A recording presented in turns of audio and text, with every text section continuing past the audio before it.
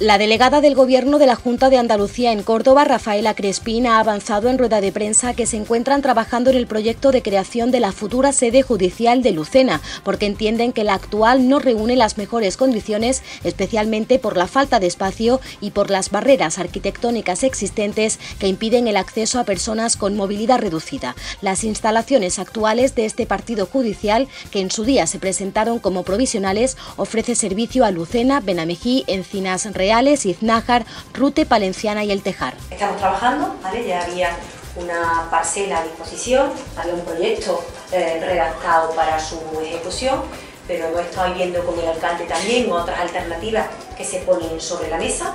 Ayer estuvo aquí el secretario general de Justicia para atender también esa petición del ayuntamiento y esa demanda.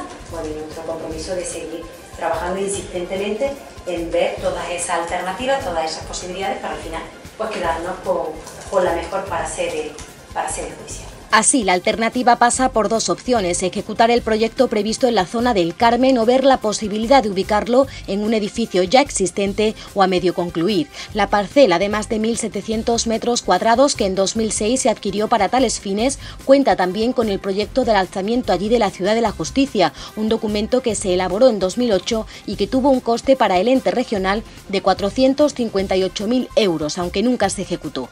Rafaela Crespín también hizo referencia al futuro del centro sociosanitario que la oposición municipal y los ciudadanos llevan demandando desde hace casi una década y que el gobierno regional prometió para el año 2008. La delegada del gobierno regional ha señalado que antes de final de año habrá una reunión con todos los agentes implicados para continuar avanzando y marcar una hoja de ruta. Asimismo, también se pronunció en cuanto a las declaraciones del Partido Popular que en los últimos días aseguraban que el helipuerto construido podría estar incurriendo la ilegalidad. El proyecto que se ha hecho de, del aeropuerto cumple con, con la norma, ¿vale? Eh, totalmente.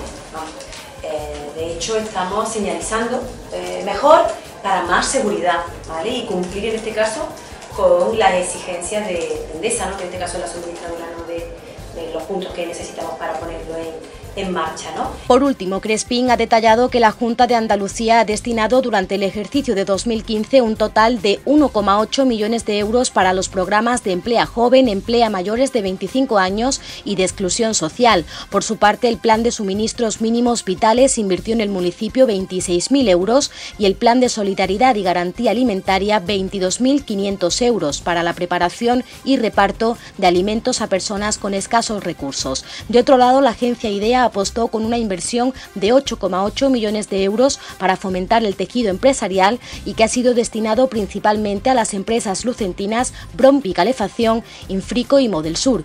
En materia educativa se invirtieron casi 200.000 euros para la mejora de diferentes centros escolares y en materia de política social la delegada destacó que la apuesta de la Junta de Andalucía por las políticas sociales posibilita que con cargo a la ley de dependencia se atiendan a más de mil personas con una inversión de en torno a 420.000 euros.